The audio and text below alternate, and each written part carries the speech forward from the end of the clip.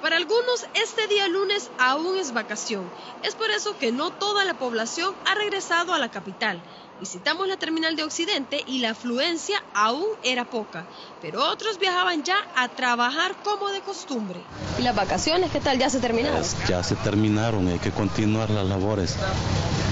Así. ¿Qué tal? ¿Pero disfrutó sus vacaciones? Sí, bueno, gracias a Dios, sí. Así es, en familia y acompañado de amigos, ¿verdad? Y también familia cristiana, ¿verdad? Los que sí iban ya de regreso a casa eran los turistas que vinieron de los países cercanos a nuestra nación y que disfrutaron del calorcito salvadoreño. ¿Usted dónde vive? Este, ahorita resido aquí en México, en San Cristóbal de las Casas, y vine a pasar la vacación con mi familia.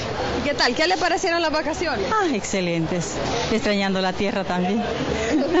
Todo y maleta ya, Todo y maleta ya saliendo de aquí. Así que, pues, damos las gracias porque todavía nuestro país se puede visitar. Lo disfrutó bastante. ¿Dónde fue? ¿A qué lugares visitó? Aquí el Tunco, la Perla y al lado de Occidente, de, perdón, de Oriente.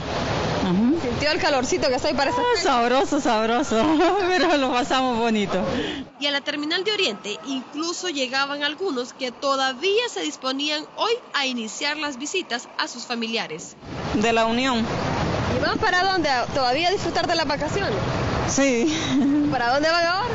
Para Chalatenango de la Unión hasta Chalatenango. Sí. ¿Y allá pasar con la familia? Sí. Después de una semana de trabajo, pues es muy bueno ir a, a vacacionarse. Con imágenes de Walter Rivera, Jennifer Hernández Noticias, Cuatro Visión.